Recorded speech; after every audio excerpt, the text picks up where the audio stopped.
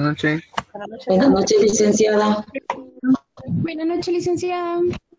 Buenas noches, Astrid. Buenas noches, licenciada. Buenas noches, Roberto. ¿Cómo están? Buenas noches, licenciada. Bien, bien. ¿Y usted qué tal? Buenas noches. Bien, gracias, Eric. Aquí ya preparada Para los parciales, ¿no? para los parciales y para las tareas Y para el descanso del viernes. y para el descanso. El día del abogado, de la abogada y de los estudiosos del derecho, o sea, de ustedes. Y van a tener descanso por, con todos los, los cursos, creo.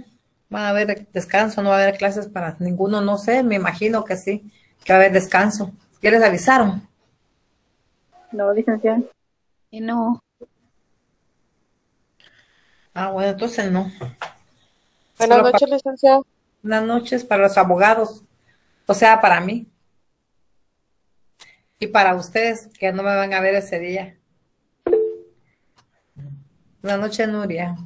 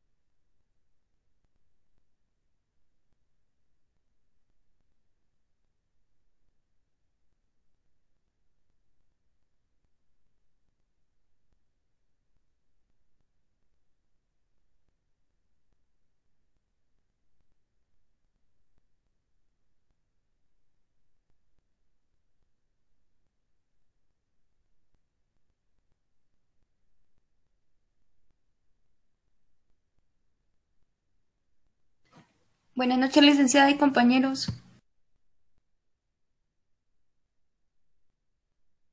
Buenas noches. Buenas noches. Noches.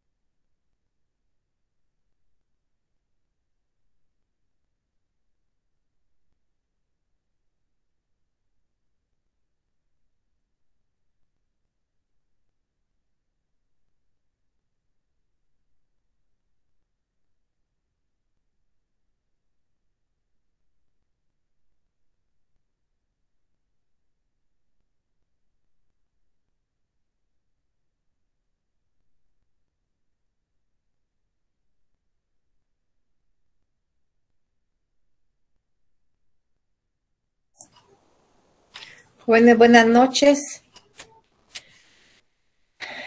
Vamos a, iniciar, vamos a iniciar con el tema que nos compete la clase de hoy. Pero antes les quiero dar una información.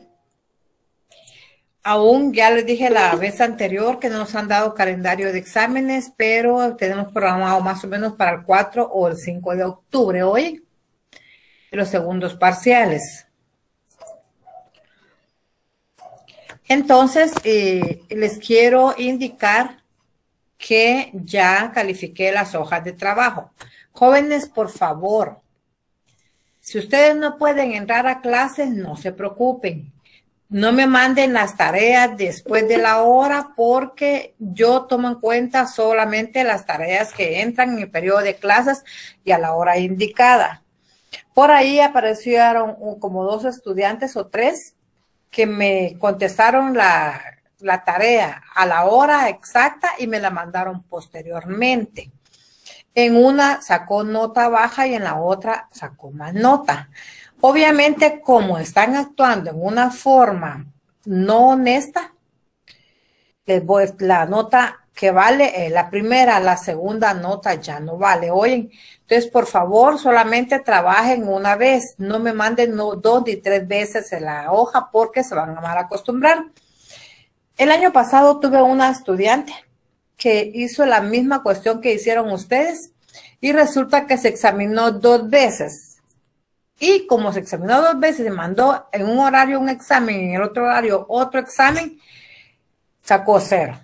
Entonces evitémonos problemas si no pueden trabajar, porque miren, pues, cuando hay hojas de trabajo, miren cuántas personas sabemos ahorita, 113. Cuando yo eh, trabajo tengo 113, 115, 122, si mucho. Y resulta que me mandan 160, 180 hojas de trabajo y esas no cuentan. Oyen, por favor, no se, si no trabajaron en clase, no se preocupen, no se preocupen por mandar trabajos, por mandarlas después de la hora, porque igual ya no va a valer.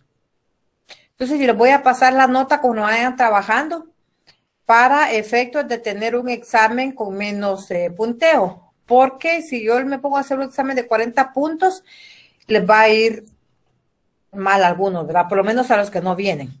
Entonces, de esa manera vamos a continuar trabajando y solamente las hojas de en clase se les va a calificar.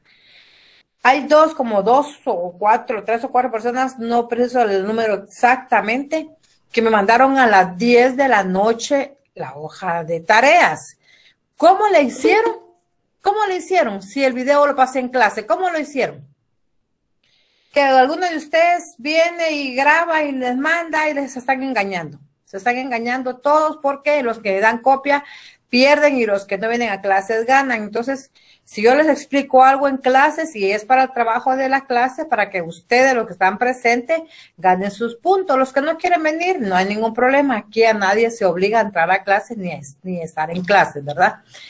De tal cuenta que les pregunto a los que están en la plataforma y no contestan. Solo contestan los que siempre están eh, presentes. Les pregunto en la plataforma y no están. Entonces solamente dejan ahí como aquel meme que se acuestan a dormir o con el teléfono, solamente ponen una muñeca, un maniquí frente a la pantalla, solamente para este, hacer ahí sí que el engaño que están, que ahí están, pero no se engañen jóvenes, por favor. Mi curso es fácil de ganar siempre y cuando ustedes vengan a clases.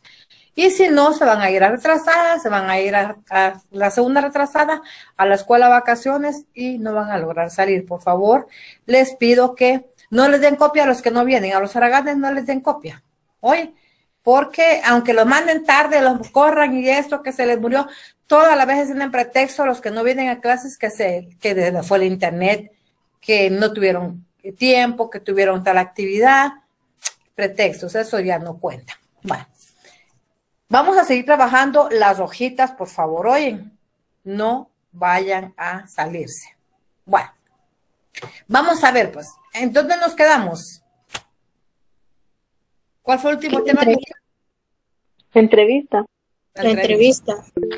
Gracias, Las opciones de la entrevista, las fases de la entrevista, la manera de la, entrevista, de la entrevista, pasos de la entrevista, actitudes del buen entrevistador y los elementos de la entrevista. Gracias. Lizzie Jacqueline. ¿Está por ahí Lizzie Jacqueline? Aquí estoy, licenciada. ¿Me puede usted indicar algunas actitudes del entrevistador? Por favor. Fíjese que aún voy en camino y no tengo mis notas a la mano. Muy bien, gracias. Dígame, Karen. Sí, licenciada, buenas noches. Algunas de las actividades es, eh, primero, como usted decía, mientras más conocimiento, ser humildes, eh, acoplarse al, a la forma de expresarse con las personas, porque ellos no comprenden a veces la forma, las palabras que nosotros utilizamos, llevar un plan y llevar un orden. Era parte de lo que era eso. Gracias. Dígame, Damaris. ¿Me escucha, licenciada? Sí, sí, por favor. Ser observador y escuchar, también ¿Ah? ser empático, cordial, accesible, respetar la intimidad, ser paciente, sereno, prudente. Muy Tener bien. una cuestión abierta. Ujú. Leslie, gracias, Damaris. Leslie, ¿puede usted agregar algo? Eh, también guardar el sí, licenciada, este, evitar la discusión, hacer las preguntas pertinentes, guardar el secreto profesional Muy y bien. mostrar una actitud dominante. Mostrar una actitud dominante. No dominante. Dígame, Doris. Tiene también que ser claro, licenciada. Buenas noches, disculpe. Buenas noches. Eh, tiene que ser claro, eh, tiene también que ser organizado en sus preguntas, eh, tiene que ser competente y claro, ¿verdad? Y plantear preguntas que al entrevistado se le hagan fáciles de comprender. Muy bien. Gracias, Doris. Bueno, Roberto Jiménez está por ahí. Roberto. Roberto fue uno de los primeros que entraron a clases. ¿Ya se fue Roberto o sigue ahí? Ya se fue, parece. Vamos a ver Wendy Dayana. ¿Ya me respondió Wendy? Sí, licenciada. Dígame, eh, ¿qué dijimos que es la entrevista?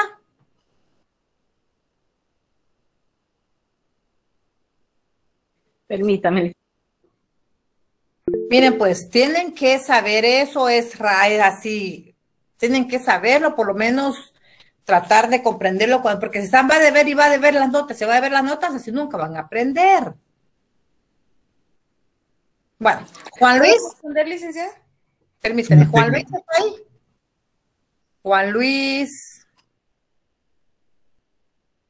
No está Juan Luis. Dejó solo grabando la cámara y se fue. William Alexander.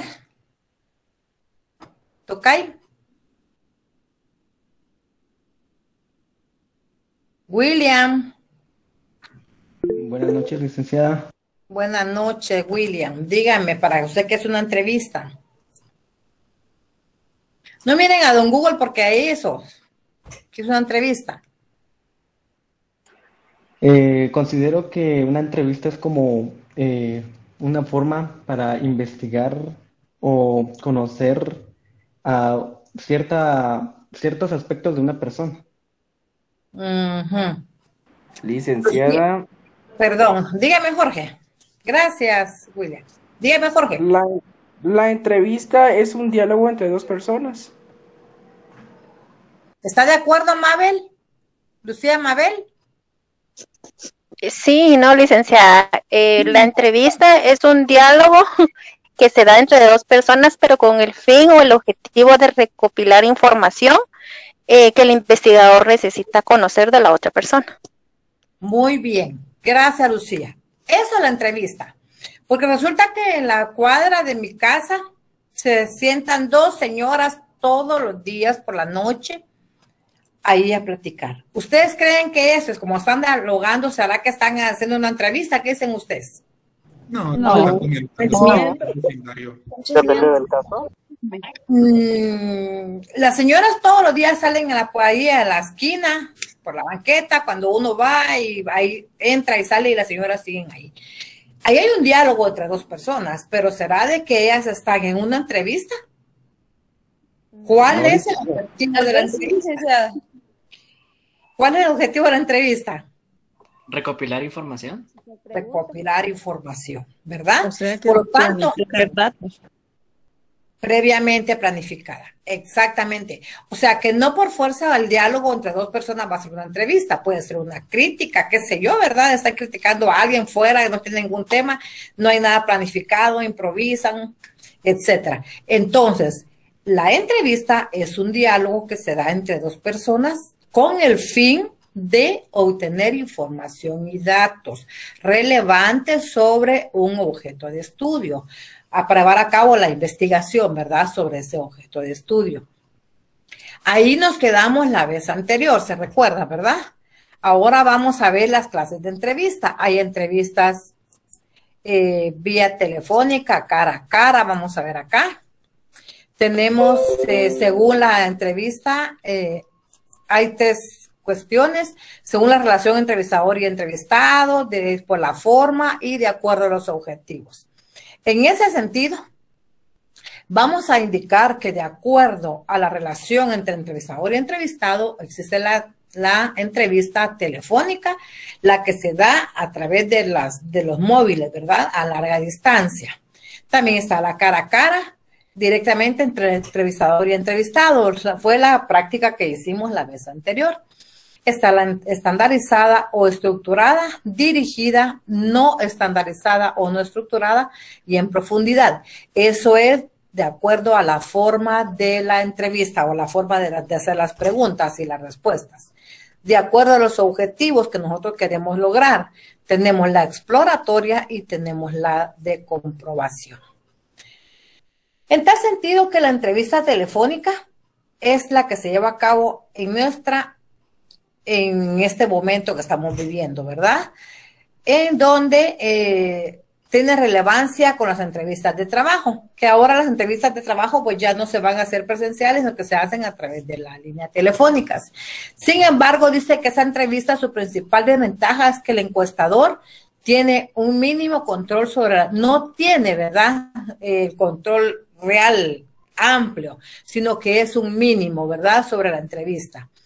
Por eso la entrevista telefónica debe de ser corta, para no molestar al entrevistado o al encuestado.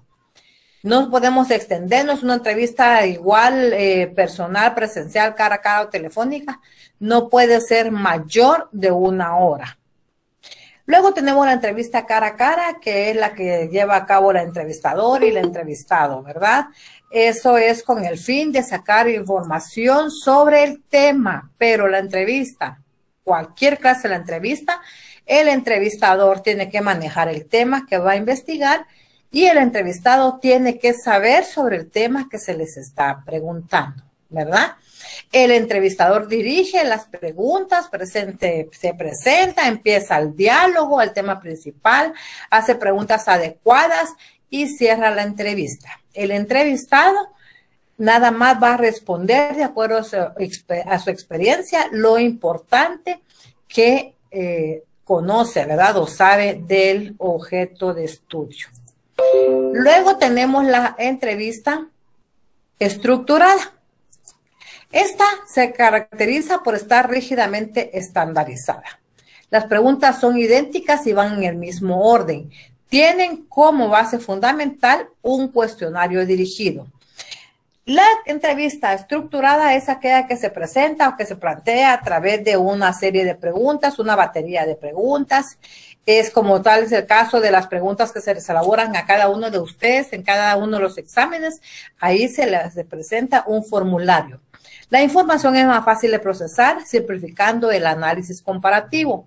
El entrevistador no necesita estar entrenado arduamente en la técnica. ¿Por qué? Porque ahí solamente se les va a presentar el cuestionario y los entrevistados lo van a tener que responder. Hay uniformidad en la información obtenida. El contenido y proceso de esta entrevista se diseña de antemano a través de un cuestionario. Si yo vengo a ustedes y les pregunto, miren pues, lo que yo les acabo de hacer la clase anterior, les hice una entrevista estructurada. De la observación de una entrevista que se llevó a cabo cara a cara con dos personas, el diálogo entre dos personas. El entrevistador era el empleador y el entrevistado era el que andaba, el, el empleado, el que andaba buscando el trabajo. Entonces, como no tenemos nosotros supuestamente, dice que el contenido del proceso se diseña de antemano a través de un cuestionario. Cuando yo le presenté a ustedes la entrevista que presenciaron la clase anterior y posteriormente les compartí el formulario que era la serie de preguntas que ustedes tenían que responder, en ese momento yo ya tenía de antemano elaborado el cuestionario porque en la entrevista estructurada nosotros no podemos venir a entrevista, a improvisar. No me voy a sacar yo las preguntas de en ese momento de improviso. Tengo que estar de antemano estructurado el cuestionario. Ahora vamos a ver la entrevista directa o dirigida.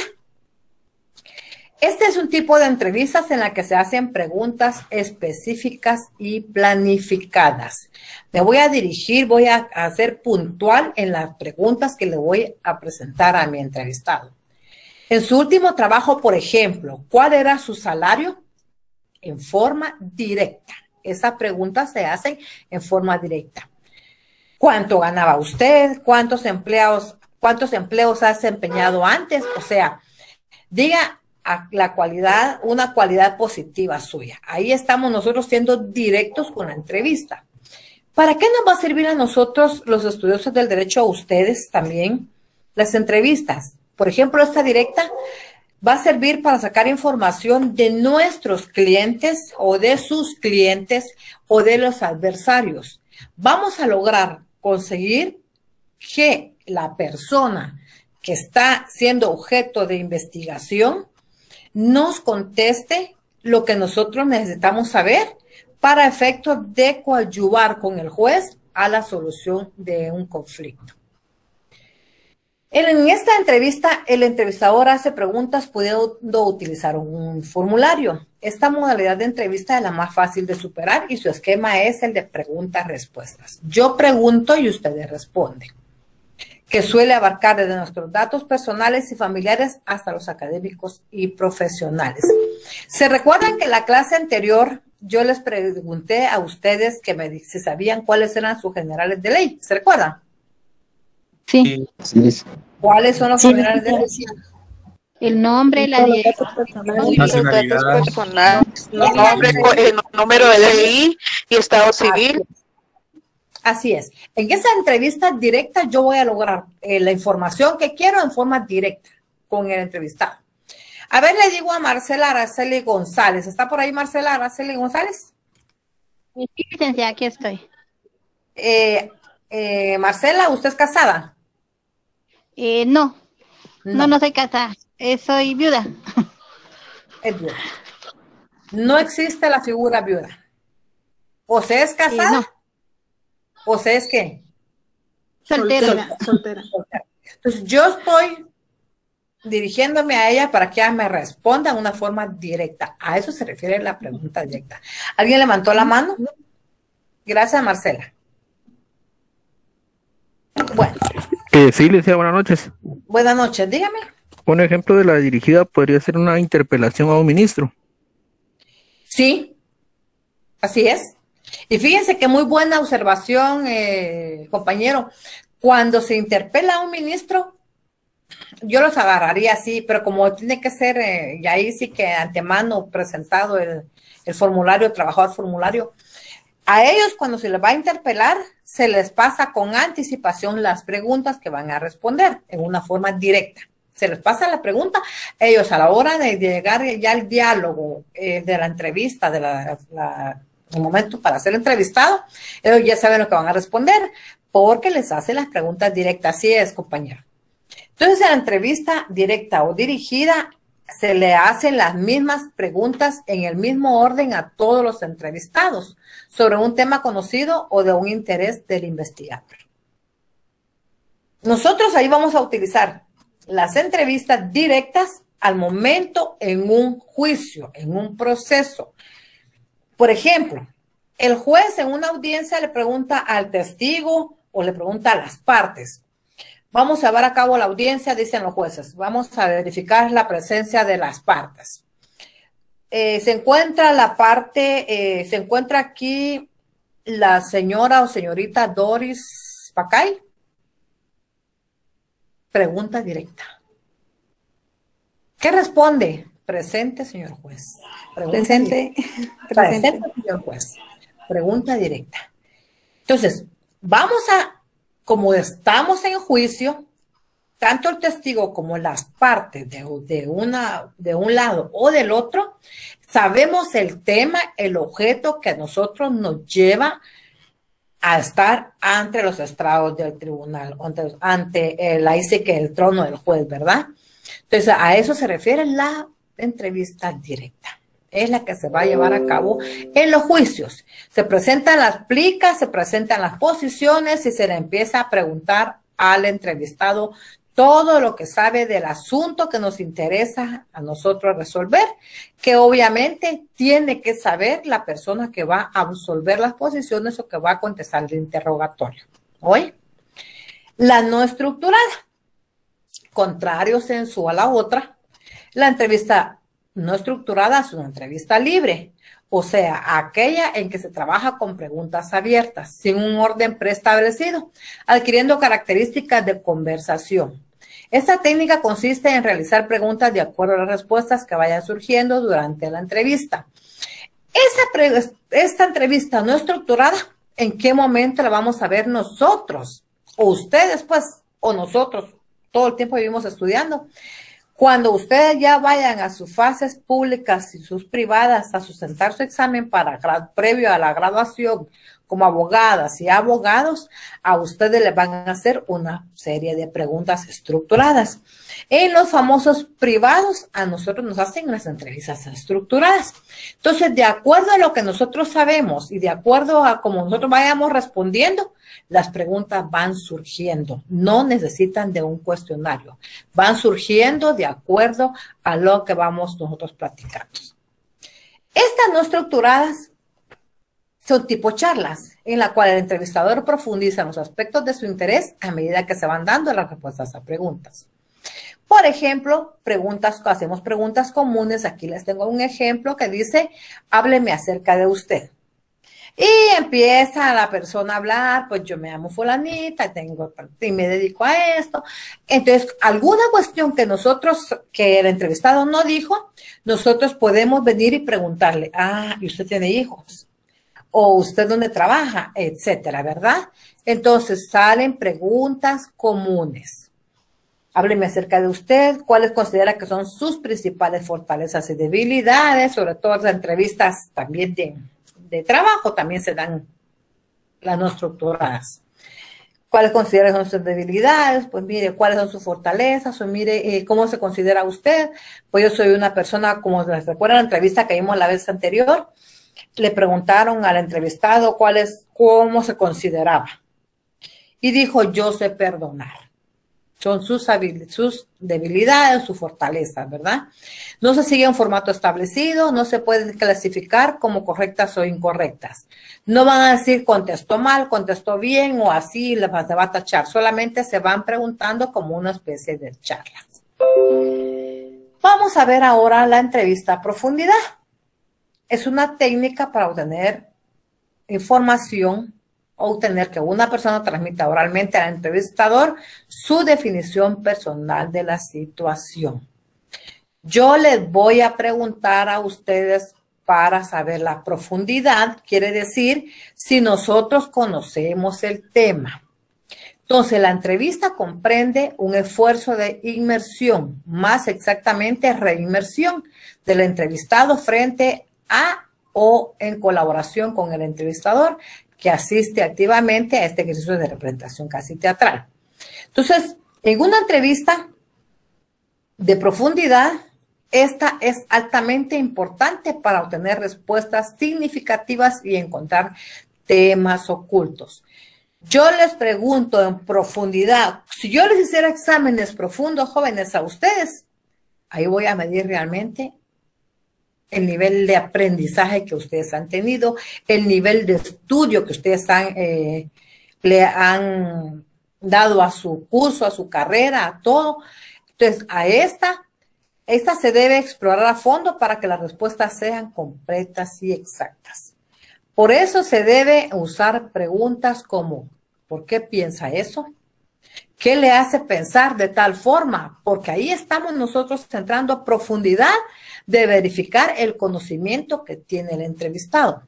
¿Podría contarme más?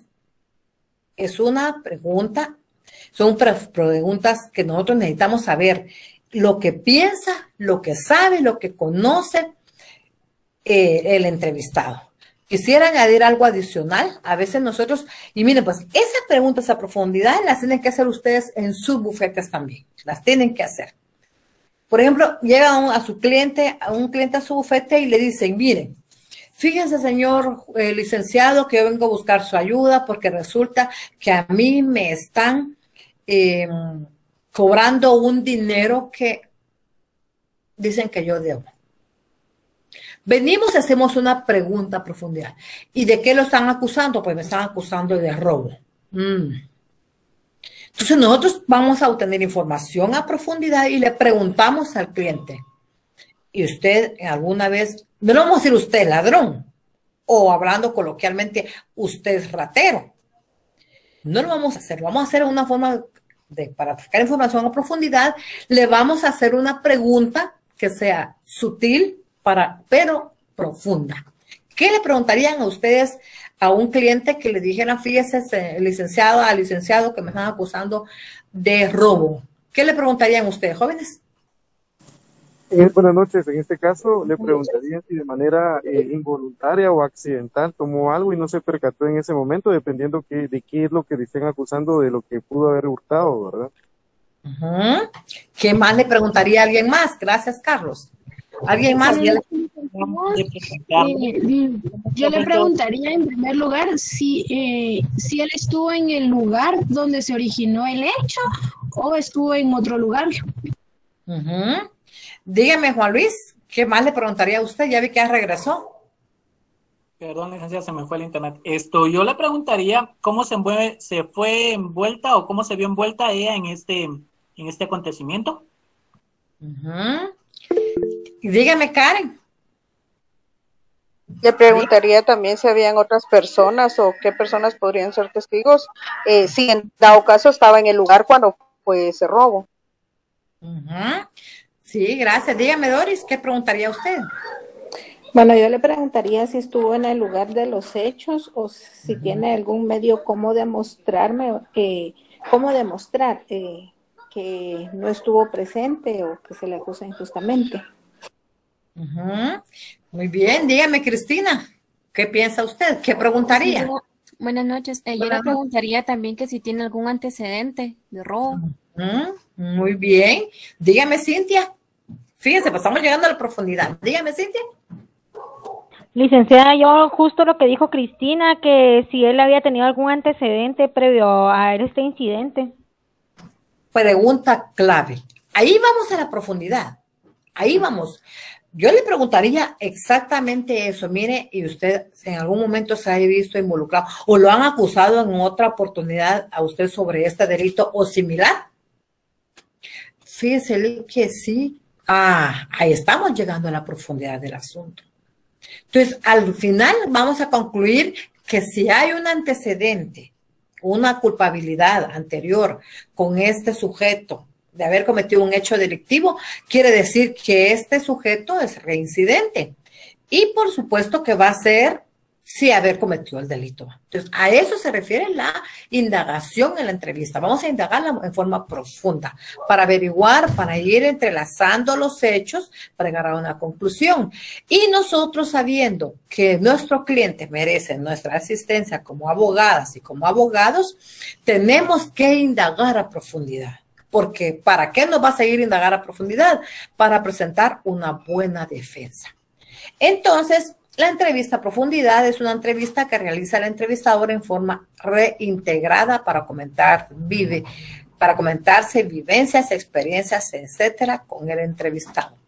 Yo voy a preguntarle vive, qué ha vivido, cuál es su experiencia, por qué lo ha hecho, cuántas veces lo han acusado, eh, qué otras cuestiones. No ha sido por, por hurto que ha estado, por robo que ha estado acusado, pero sí ha estado acusado por hurto, por tenencia, qué sé yo, ilegal, por um, enriquecimiento ilícito, etcétera. Entonces ahí estamos investigando nosotros a profundidad para poder sacar nuestras conclusiones y decir, bueno, mi cliente es culpable, ¿verdad? Pero no obstante que es culpable, yo lo tengo que defender porque para eso me están pagando. ¿Estamos claros, jóvenes? ¿Estamos claros hasta aquí? Sí, licenciada. Sí, licenciada. Gracias. Sí, licenciada. Sí, licenciada. Exploratoria, gracias. Vamos a, miren pues, la entrevista eh, a profundidad es una cuestión y vamos a ver la entrevista exploratoria. Dígame, Lucía. Eh, buenas noches, licenciada. Solo con una consulta, una duda. Eh, cuando a uno le hacen este examen, o no sé si es examen o entrevista del polígrafo, Ajá. ¿Esa es entrevista también o es parte de una entrevista? Es parte de una entrevista. ¿Sí? Y sería estructurada. Así es, profundidad, a profundidad. ¿sí? Ahí están averiguando, sacando información y datos sobre el objeto de estudio, o sea, ustedes. Ustedes que son el objeto de estudio, que van a, a aspirar a, una, a un trabajo. Entonces, ustedes ahí les están haciendo una clase de entrevista, pero es a profundidad. Vamos a ver en qué consiste la entrevista exploratoria. Se utiliza para obtener información que sirva para planear, plantear problemas y formular, formular hipótesis sobre un tema determinado de investigación. Esta forma de entrevista la realiza al comienzo del estudio, se realiza al comienzo del estudio, cuando todavía no se tiene conocimiento profundo del fenómeno que se investiga.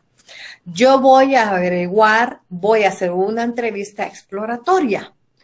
Yo voy a explorar, voy a hacer una entrevista exploratoria aquí con ustedes y les pregunto, a ver, ¿qué saben ustedes del delito de parricidio? ¿Quién me quiere contestar? ¿Es cuando un hijo asesina a sus papás o un papá a sus hijos? Ujú.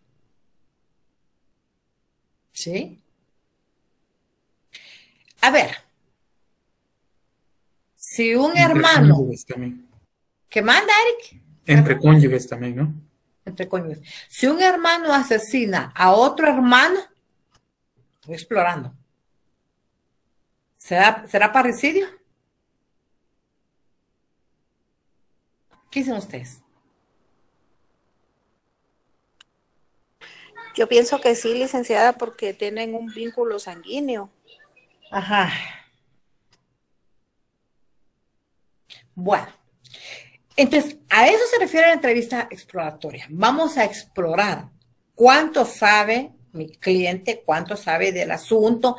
Si sabe, vamos a explorar. Si exploramos, exploramos de acuerdo a la profundidad de la entrevista, nosotros empezamos a explorar y concluimos que mi cliente que me está indicando que lo están acusando de robo, vamos a explorar y verificamos que lo están acusando de un delito que realmente no, no cometió. ¿Por qué? Porque investigamos, exploramos, exploramos información y detectamos que se llamaba, eh, vamos a poner un nombre, un nombre hipotético, Luis de León. Y resulta que existen, investigamos, exploramos y resulta que existen infinidades de Luises de León. Ahí estamos nosotros explorando.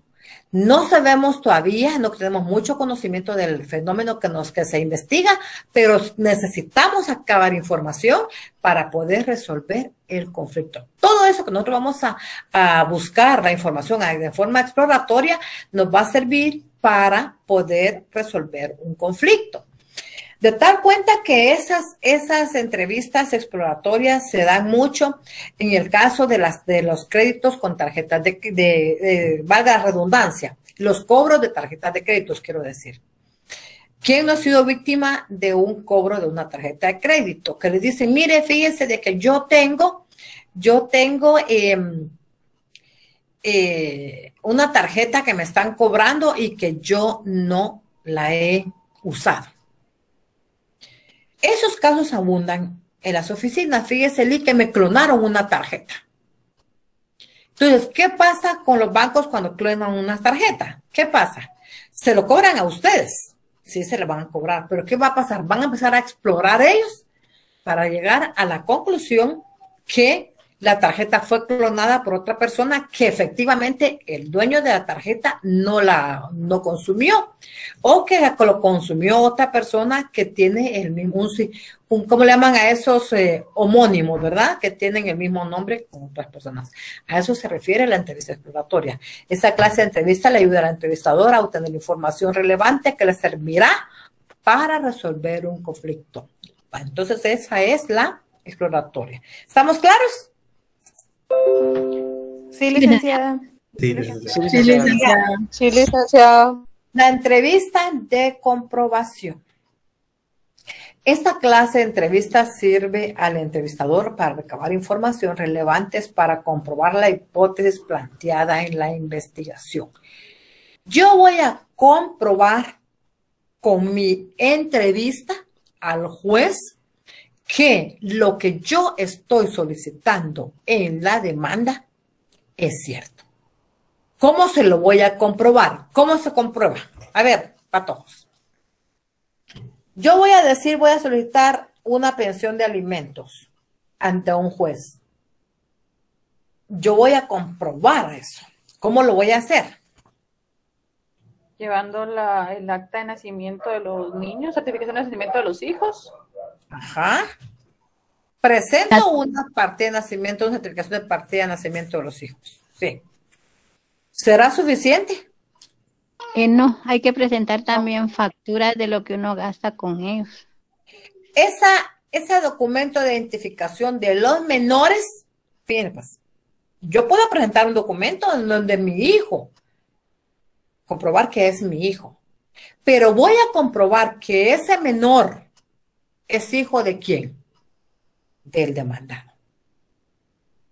Entonces, a eso se llama la entrevista de comprobación. Si a mí se me olvidó presentar ese documento en donde mi hijo es el hijo de su papá, entonces yo voy a llevar a cabo una entrevista de comprobación, una declaración de parte, que se encuentra en el artículo 131 del Código Procesal Civil y Mercantil una declaración de testigos. Dígame, you lady. Dígame. Una declaración de testigos puede ser, ¿verdad? Entonces, yo voy, voy, a formular la hipótesis que la voy a comprobar al final, porque la hipótesis es una solución teórica al problema planteado de un caso por resolver. Yo le voy a decir al señor juez, señor juez, yo necesito que mi cónyuge me proporcione pensión alimenticia por la cantidad de 10 mil quetzales solo para mí en concepto de cónyuge. Yo tengo que comprobar con hechos fehacientes o documentos fehacientes que a mí me asiste el derecho de pedir pensión alimenticia. Entonces, hay un problema planteado, hay un problema que yo necesito ser alimentada, que yo necesito una pensión, que yo necesito que mi esposo me dé pensión, pero tengo que comprobar esos hechos. Y ahí voy a, resultar, al final, toda esa, esa situación va a servir para resolver un problema.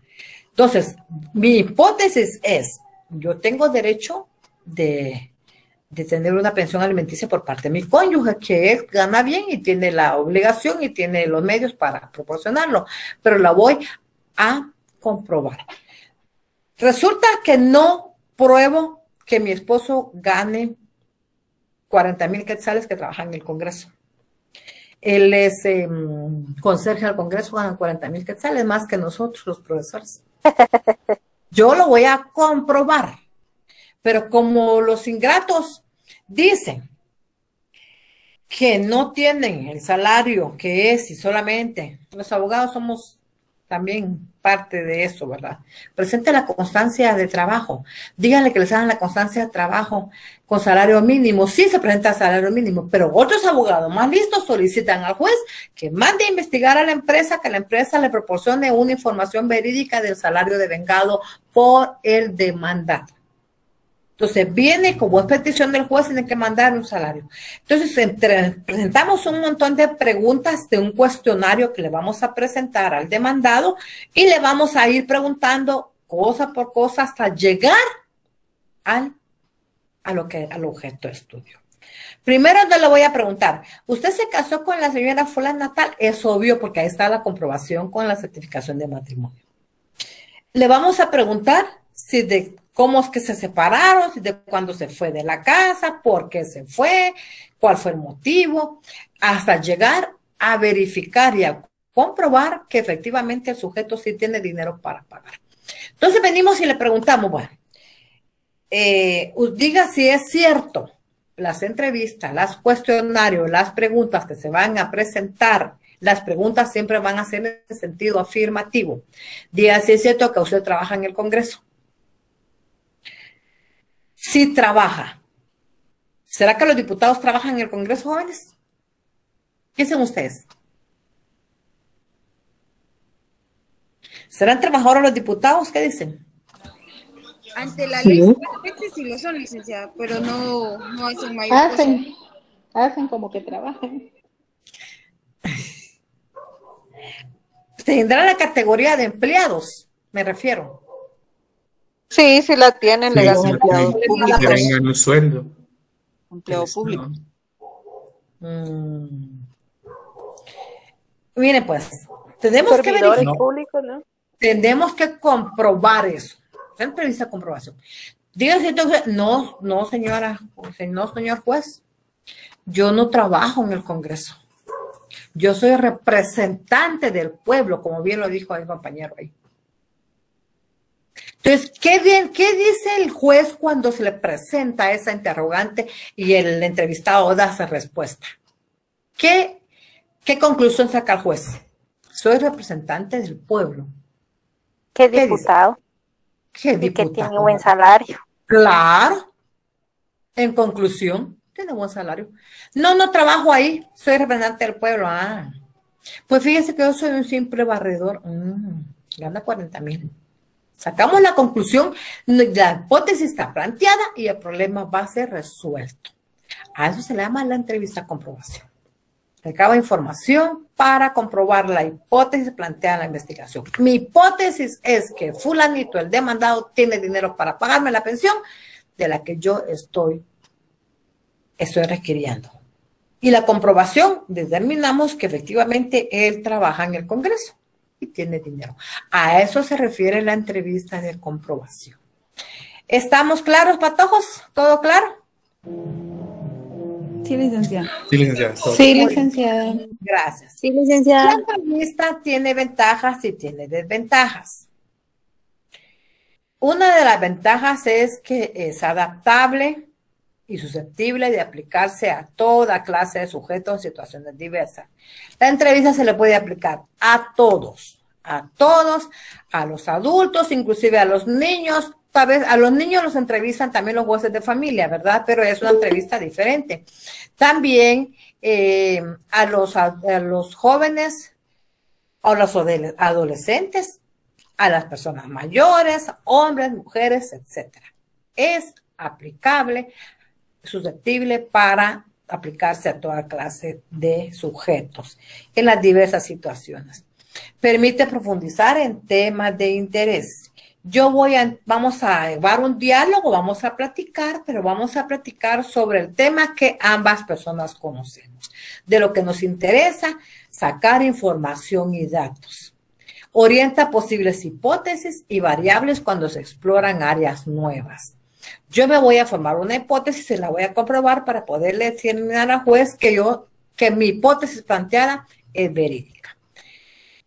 Una de las ventajas, de las desventajas que tiene varias, se requiere mayor tiempo. La entrevista quiere tiempo, jóvenes. El mayor tiempo posible porque tengo que planificarla, me tengo que ver el lugar adecuado, tengo que prepararme con tiempo, tengo que saber las aptitudes y las cualidades del entrevistador, tengo que llevar a cabo, a, irme a sentar con el entrevistado para poder, poder sacar la información requerida. Entonces sí requiere de tiempo es más costoso por la inversión de tiempo de los entrevistadores. Tenemos que salir a, entrevistar, mire, con ese famoso censo. Ese famoso censo que se llevó a cabo fue una entrevista que tuvieron que llevar a cabo las diferentes personas en todo, toda la República de Guatemala. Entonces sí se requiere de costo, requiere un costo, hay que invertir para que los entrevistadores se puedan movilizar de un lugar a otro, ¿verdad? Se dificulta la tabulación de los datos, sí, tenemos que ordenar los datos porque tenemos que, vamos a, tenemos que eh, sacar la entrevista que contestó uno, que, etcétera. Es dificultoso la tabulación de los datos. Se requiere mucha habilidad técnica para obtener la información y mayor conocimiento del tema tenemos que ser muy hábiles en preguntar, porque puede que nuestros entrevistadores, nuestros entrevistados nos estén mintiendo. Tenemos que tener mucha habilidad y técnica para lograr que nos digan lo que nosotros necesitamos saber. Esa situación se da mucho en los juzgados, en las oficinas, en los debates, en las audiencias. Tenemos que ser hábiles, tenemos que presentar preguntas no capciosas, claras, concisas, preguntas em, idóneas para lograr lo que nosotros necesitamos saber. Otra de ventajas es que es susceptible de exageraciones y engaños. Puede que me digan la verdad como puede que no. Puede haber discrepancia entre lo que el informante dice y lo que realmente hace la persona que le digo, que les cuento de que lo están acusando de delito de robo, puede que me diga, fíjese, le desea que yo no he estado, nunca he estado em, acusado de un delito. Y nosotros comprobamos que sí, nos puede estar mintiendo, ¿verdad? Entonces, también de las ventajas, ya que los entrevistados no observan a las personas en su vida diaria, no conocen el contexto para comprender sus perspectivas. Como yo no los estoy conociendo, yo no los conozco a ustedes. Yo los entrevisto, yo les hago preguntas a ustedes escritas, les hago preguntas orales, pero yo no sé si ustedes están en clases o no están, si me están respondiendo o no sé. Entonces, por eso es de que él tiene, es desventajoso eso.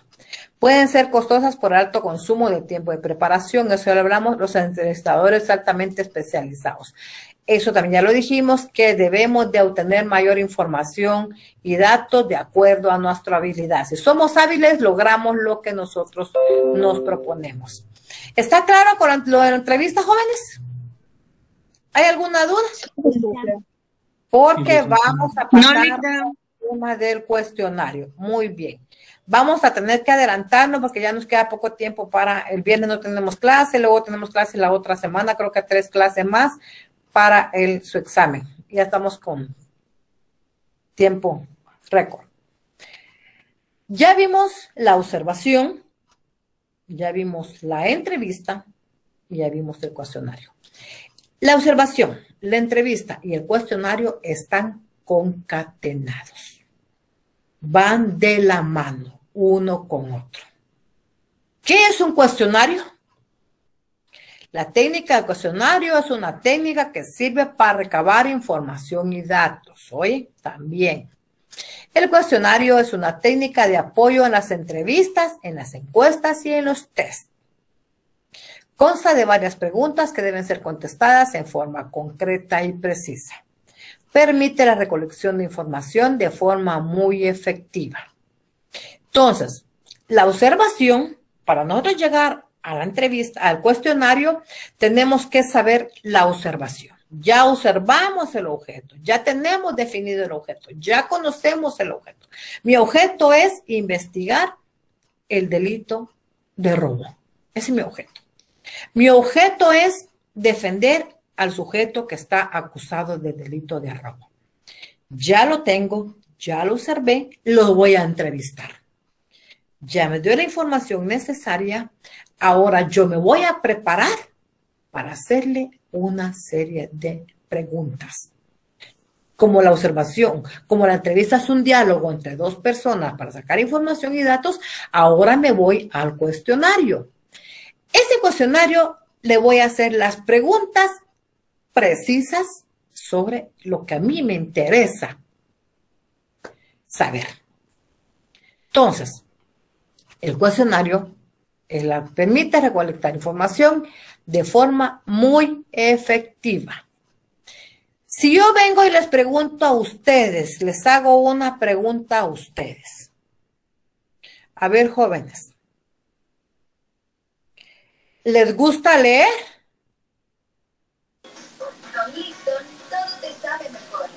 ¿A ustedes les gusta leer? Sí. Sí. Sí. Sí. ¿Cuánto tiempo leen en la, a la semana?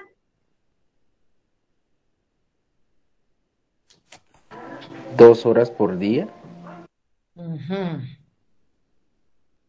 ¿Y los demás? Media hora. Una hora máximo. ¿Dos horas? Dos horas. Dos horas. Mm, ¿Será?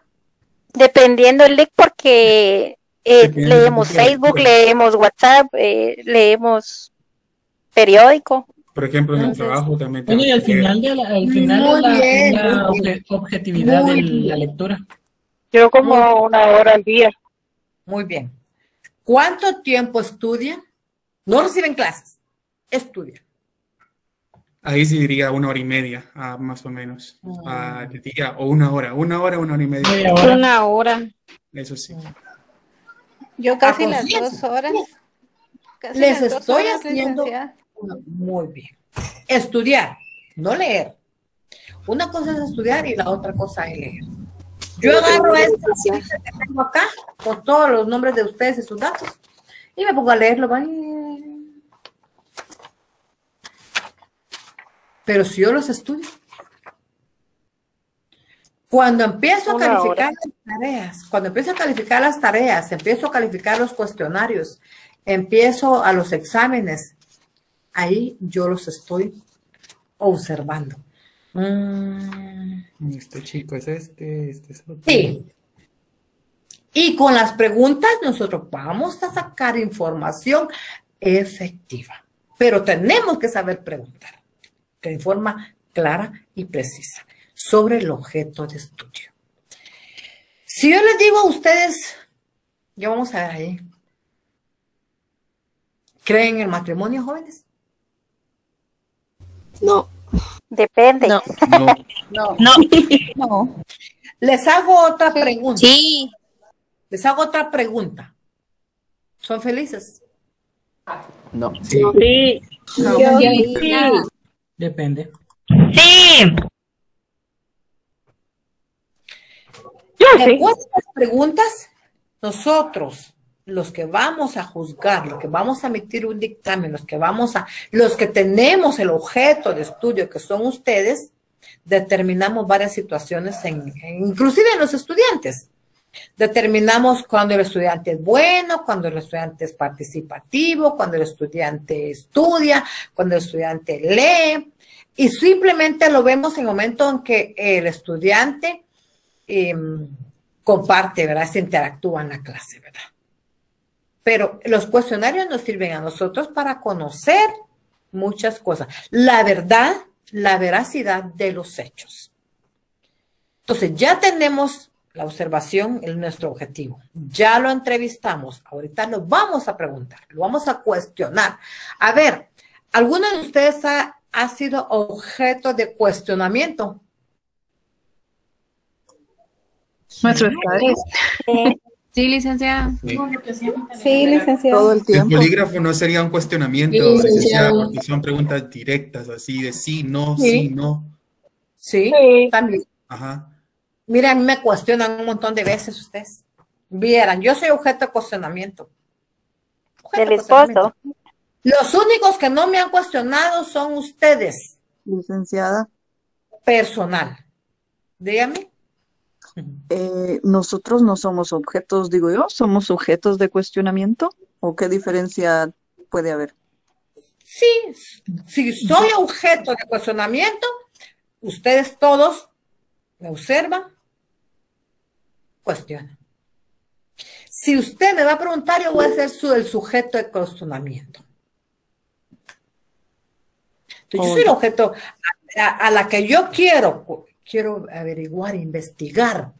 Si yo quiero, quiero averiguar, investigar, la vida de la licenciada.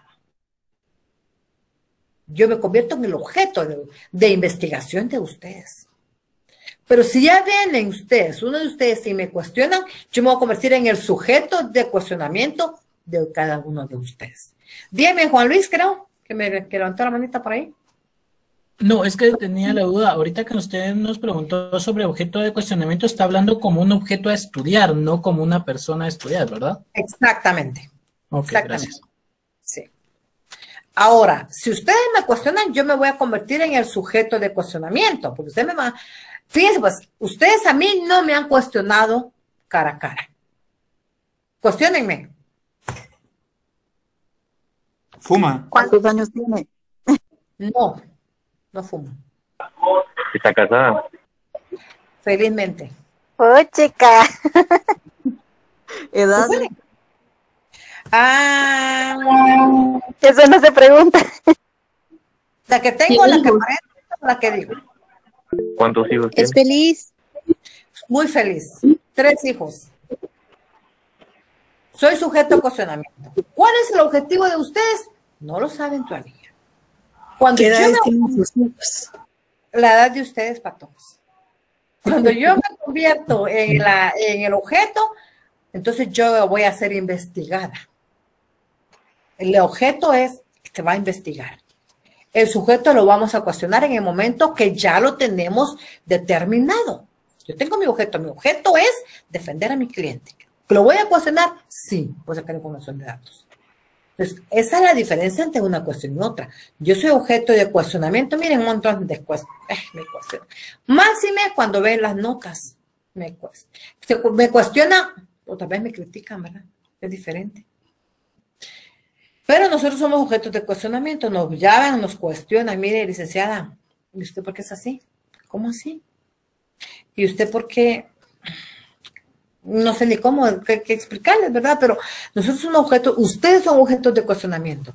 Los llaman a la, vamos a decir al compañero Wagner Omar Contreras que lo solicitamos en la oficina del trabajo.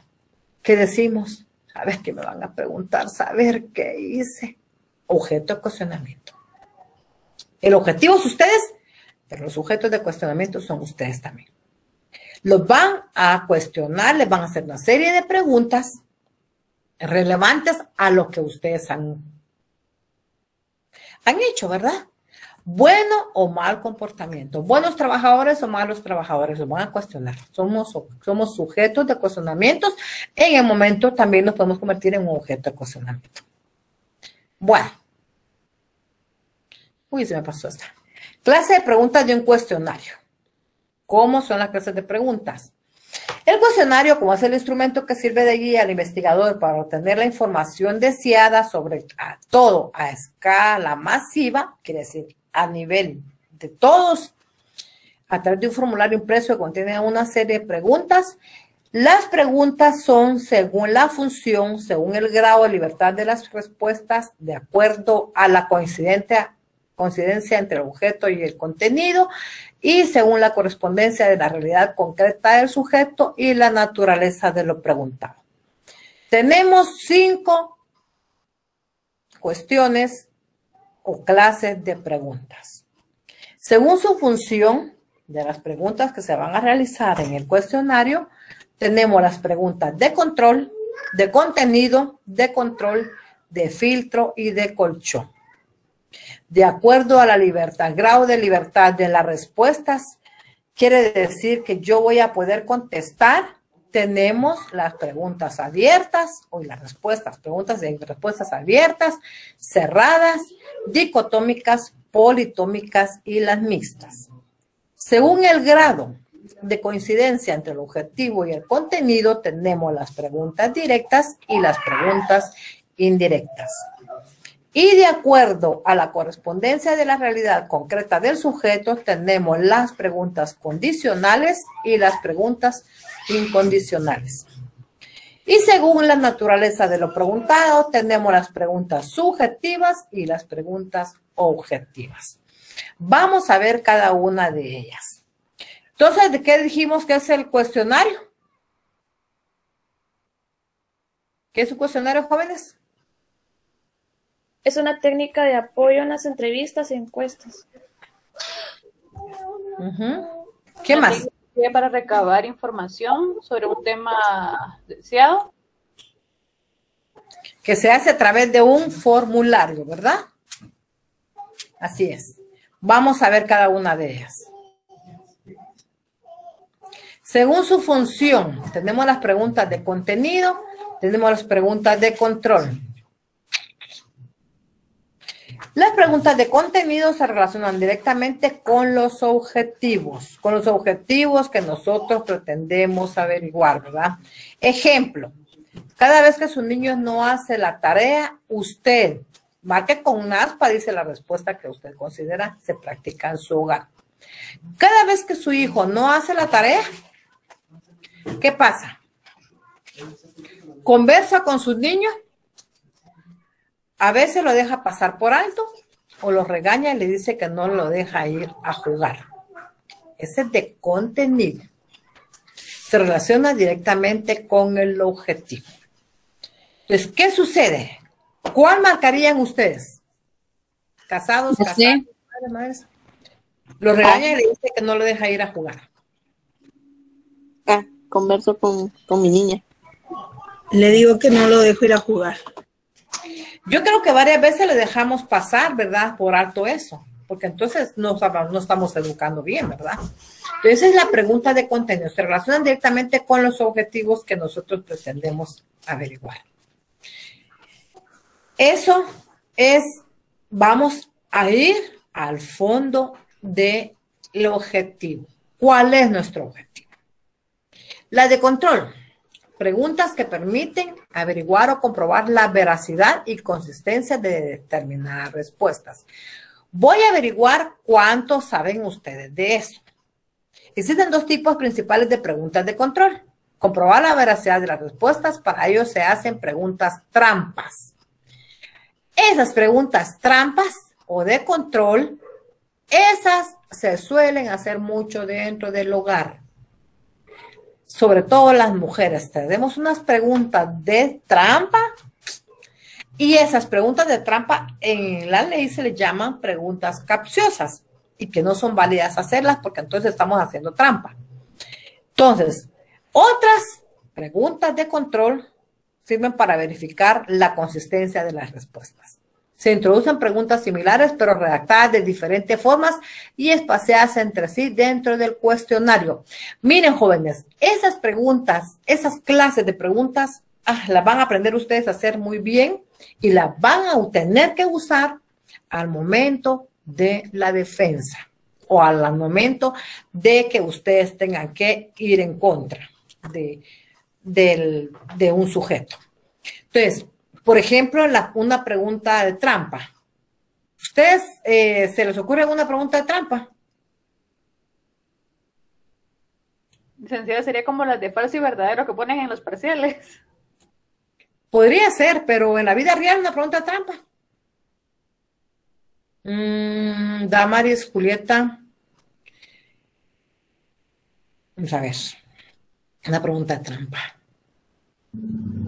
Licenciada, por ejemplo, si le pregunto cuánto, qué edad tenía cuando se graduó y cuánto tiempo lleva de ejercer, como que le estoy sacando su edad indirectamente, ¿no? Mm, Podría ser. Sí. Así es. Licenciada, si yo le pregunto a usted si ha salido con alguien afuera de su matrimonio para saber si ha sido infiel. Mm, esa no es de trampa, porque la de trampa tiene que ir inmerso a lo que nosotros queremos eh, informar, pero sin que el otro se dé cuenta que le estamos haciendo trampa. Ah, sí, pero o sea, mi pregunta sería, solo con, eh, ¿ha salido con alguien fuera de su matrimonio? Y entonces mi trasfondo sería que yo quiero averiguar si a usted sale con otra persona. Para Pero eso es un poco obvio, ¿no? Sí. Una trampa, una trampa lo pasé. Eh, Se podría decir, de licenciada, que supongamos que algún ministro nosotros lo estemos interpelando y le digamos, usted autorizó eh, cierto proyecto y que él diga no y tal vez nosotros ya tenemos el documento firmado por él. mm, ahí esta pregunta es directa. Esa es directa. La pregunta de trampa lleva inmersa la respuesta que queremos, pero que sin que el otro se dé cuenta. Dígame, Alexandra. Licenciada, así como por ejemplo, eh, siento que los asaltantes también aplican eso, porque a veces se acercan inocentemente y hacen sus preguntas, eh, mira, disculpa, aquí pasa tal camioneta o anda sola, y si casualmente uno responde si está sola, ya nos, nos fue mal. Así es, así es. Dígame, Ezequiel. Así es. Licenciada, una podría ser, ¿a qué regresó usted al lugar de los hechos? Em, podría ser, pero más que todo, pero afirma, afirma, las preguntas de trampa tienen que ser afirmativas, así, así como convincentes. Por ejemplo, ¿qué estaba haciendo usted a las seis horas en tal lugar? No, yo no estaba ahí. Entonces, em, pero tenemos que, las de trampa, por eso de trampa, porque las envuelven. Dígame, Fernando. Eh, un ejemplo, licenciada, sería, por ejemplo, en un juicio de materia penal, ¿verdad? Preguntarle al acusado de un asesinato qué le motivó a hacer e- ese, ese acto. ¿O no encajaría ahí? No. No. No porque la de trampa, por eso dice que comprobar la veracidad de las respuestas. Para eso se hace preguntas de trampa. Por ejemplo, Ligda, perdone, por ejemplo, un caso de violencia contrafamiliar eh, contra la mujer. ¿Cuándo fue la última vez? eh, y él dice que no va. ¿Cuándo fue la última vez que le pegó a su mujer? Eh, él no va a decir que nunca le ha pegado. Él no le va a decir que le ha pegado. Eh, tenemos- dígame. O sea, vamos a buscar encontrar uno. Dígame. En este Dígame, caso, yo, eh, digamos, ¿ha tenido alguna discusión recientemente con su mujer, por ejemplo? Eh, puede ser una o no. Mm, puede ser. Dígame, Doris. Por ejemplo, licenciada, en un juicio de pensión alimenticia, usted ya tiene el informe de cuánto gana el acusado, el papá, por ejemplo, y le dice, bueno, según un informe que me enviaron de su trabajo, usted gana tanto, eh, ¿por qué razón no ha brindado eh, la pensión alimenticia correspondiente?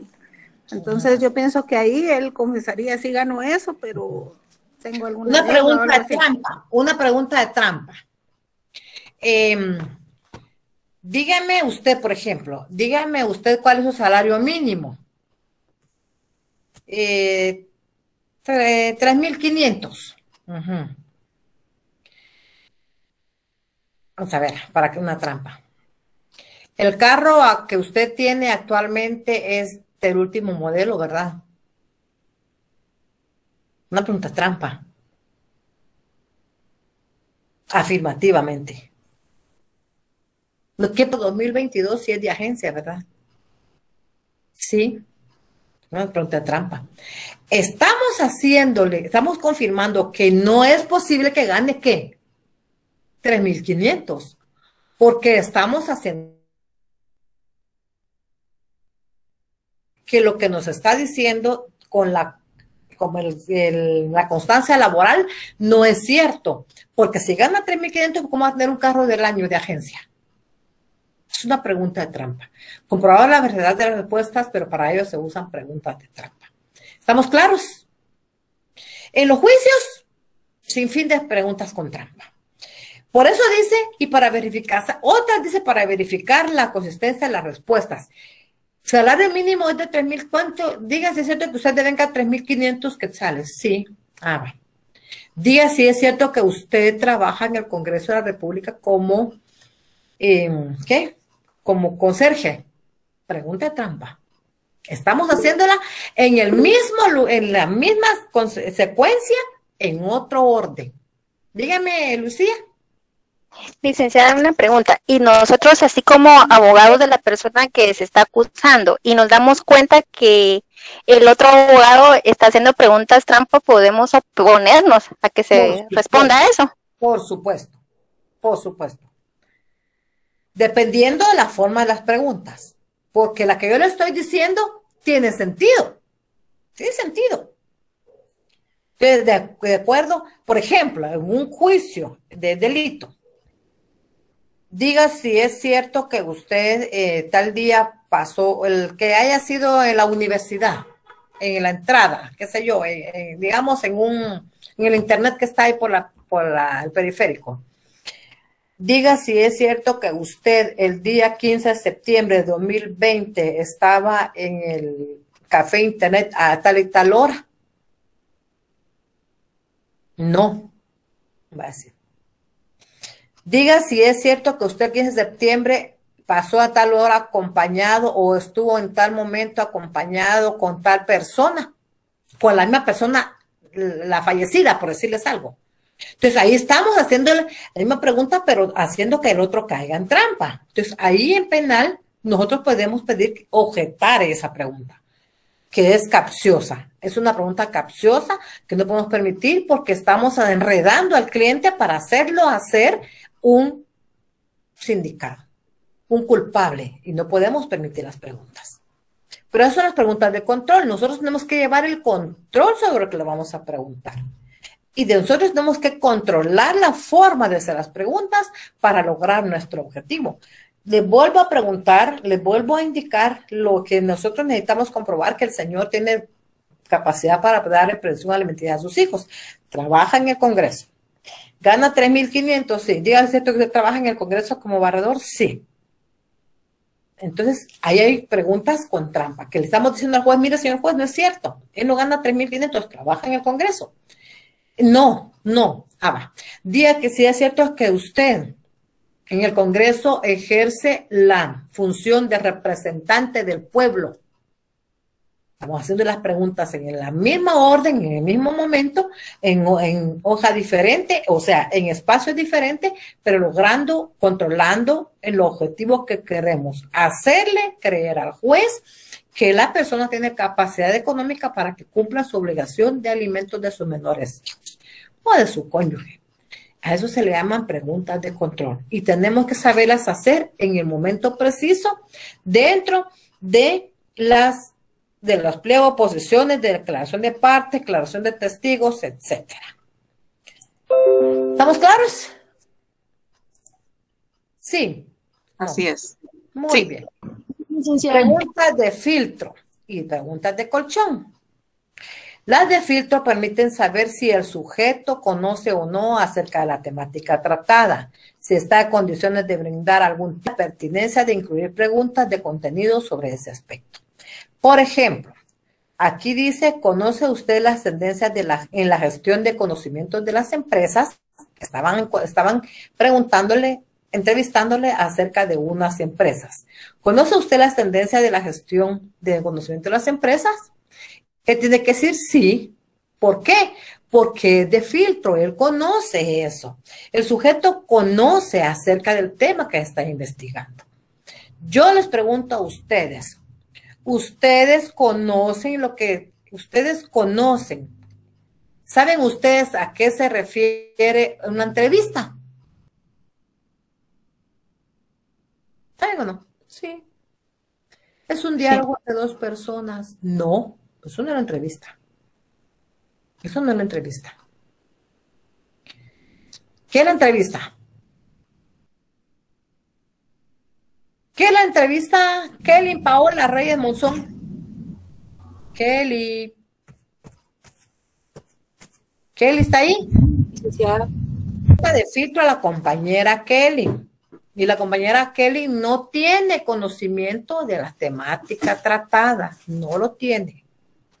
Entonces, las preguntas de filtro, el encuestado, el, el cuestionado sabe el tema que se está tratando.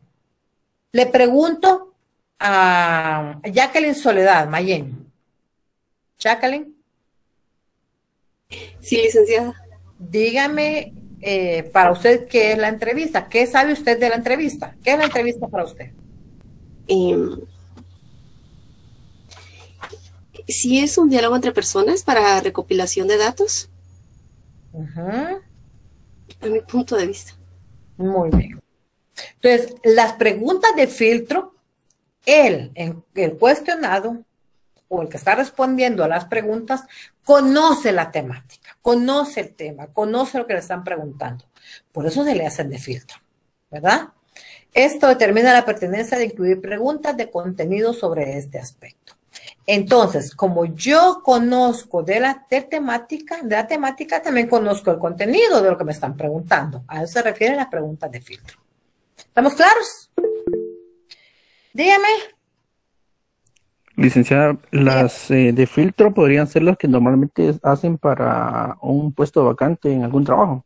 Así es, así es. Le preguntan a usted eh, qué sabe de mecánica, por decirle algo, ¿verdad? Pues fíjese que usted ha reparado, ¿conoce usted sobre el eje de levas? No pregunte filtro. Sí.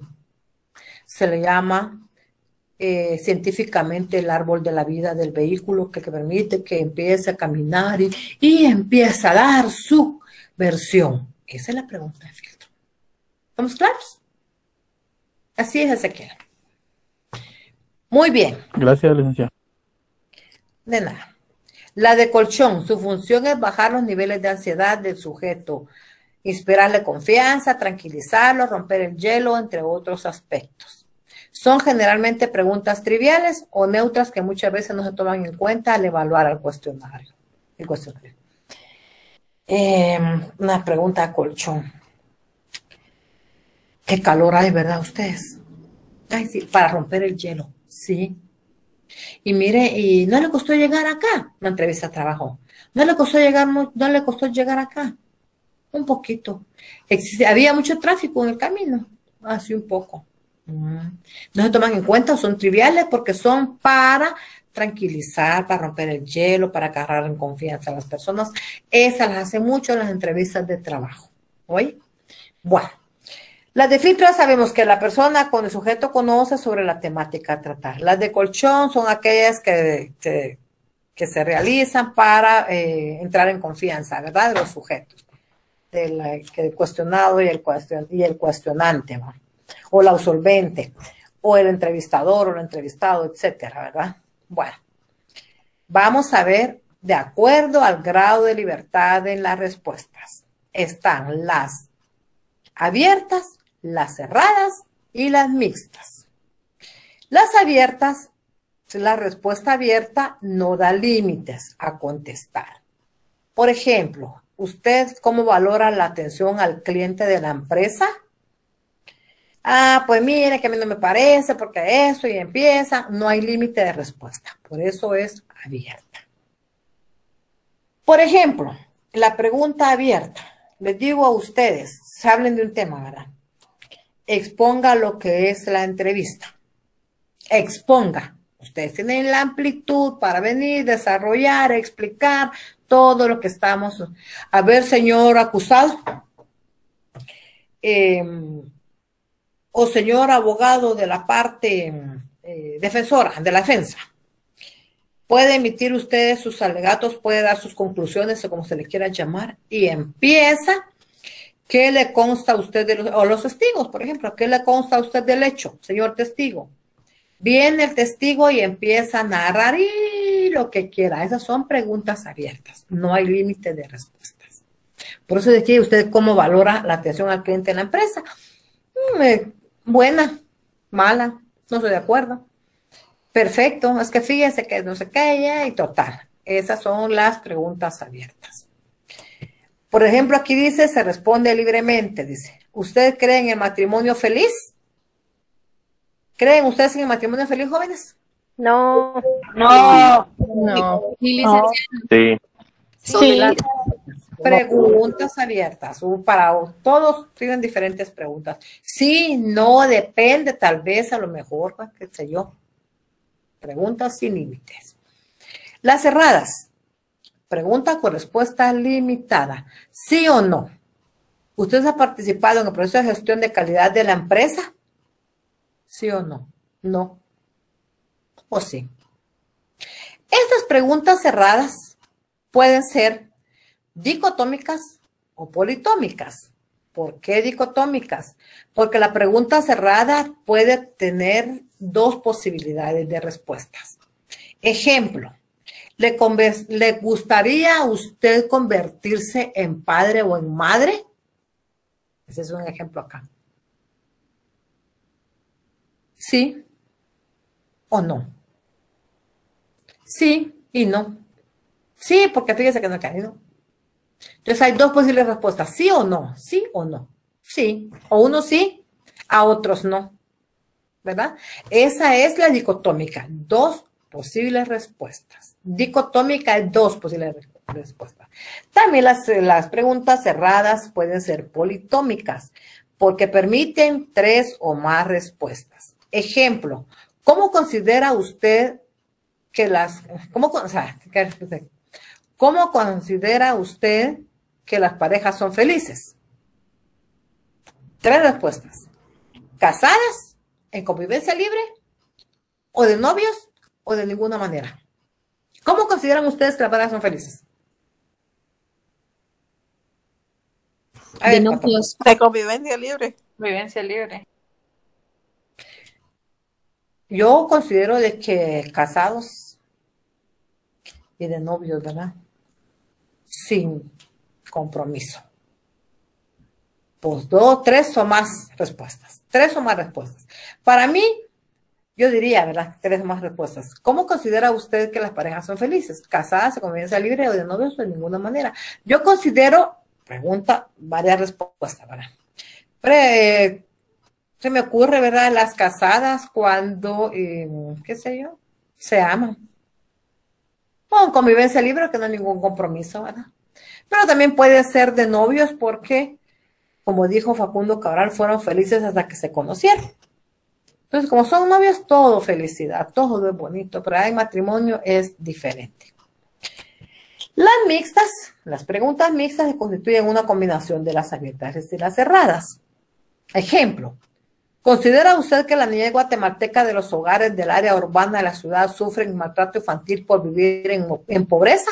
¿Qué dicen ustedes? Sí. Sí. ¿Por qué? Esas son las mixtas. Sí, por tal y tal situación. No, por tal y tal situación. Esas son las mixtas. Tienen relación con las abiertas y las cerradas. Sí, yo considero que sí. Los dice, porque considera usted que la niñez guatemalteca de los hogares del área urbana de la ciudad sufren de maltrato infantil por vivir en pobreza. Ustedes dicen que sí, pero hay que decir por qué. Porque entonces, si somos solo sí, estamos en una abierta. Estamos en una cerrada. Si decimos solo sí, estamos en una cerrada. Si decimos solo no, estamos en una cerrada. Entonces tenemos que hablar en forma mixta. Sí, por tal y tal. O no, por tal, por no, porque, qué sé yo, ¿verdad? Tienen que dar la respuesta a ustedes de lo que ustedes eh, consideren. Así de fácil. ¿Estamos claros? Sí, licenciada. Muy bien.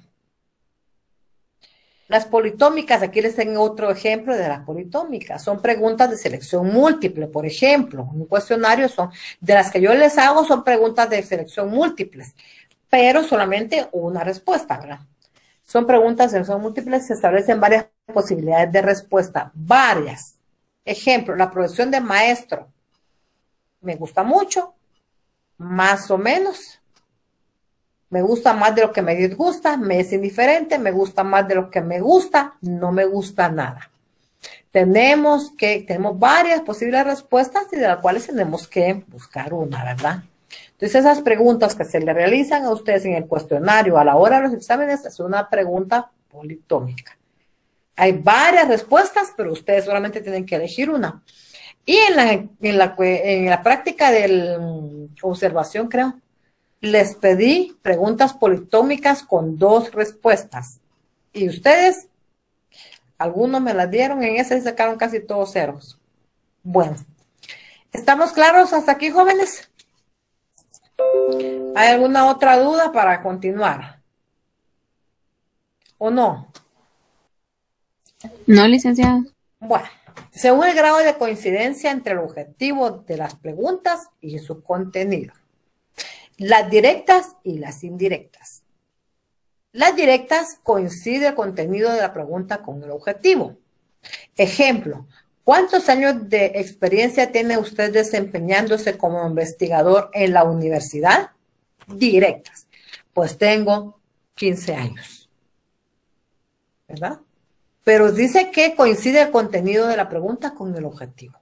Obviamente, si le va a preguntar a un docente, a un investigador de la Universidad de San Carlos, porque tiene que coincidir el contenido con la pregunta, con el objetivo.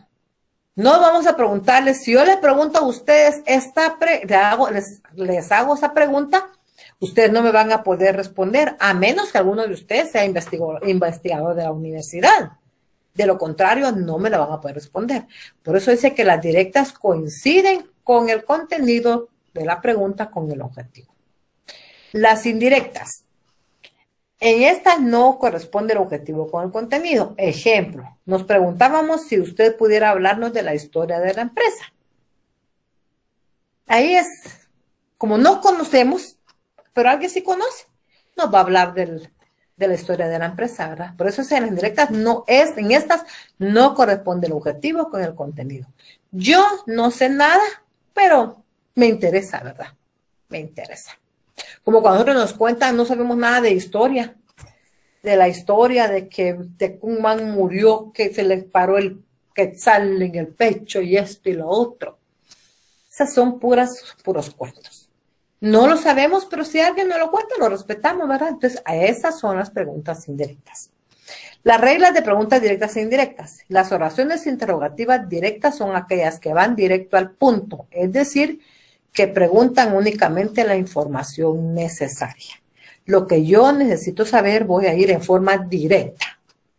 ¿Cuánto? Ustedes, por ejemplo, una persona que me sacó 30 puntos, varias personas 30 puntos. Ustedes, usted, ¿por qué sacó 30 puntos? Si yo le digo, ustedes sacaron 30 puntos porque ustedes son estudiosos. ¿Me responden? Directamente sí. O ustedes sacaron 30 puntos porque tuvieron tiempo de copiar, ¿va? Ustedes vienen y responden, no, en forma directa. La otra regla es que las oraciones interrogativas indirectas son un tipo de oraciones compuestas en la que la oración principal no es interrogativa. Las preguntas indirectas nunca llevan signo de interrogación. Se presentan en forma de afirmación, pero contienen interrogantes. Las indirectas. Ah, una indirecta, ¿verdad? Mm. ¿Por qué? ¿Por qué usted, por qué la mayoría de ustedes sacaron cero en la, en la técnica de observación? ¿Por qué? ¿Por qué? Ah, pues porque no sabemos observar, ¿verdad? No, no habíamos aprendido a observar, ahora sí ya. Bueno, jóvenes, ¿hay una duda? ¿O no hay ninguna? ¿Está todo claro? Todo claro. Claro, licenciado. claro. Todo claro, licenciado. Sí, licenciado.